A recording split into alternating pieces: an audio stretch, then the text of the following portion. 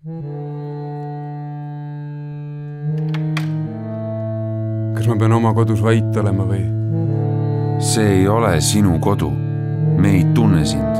me ei taha sind tunda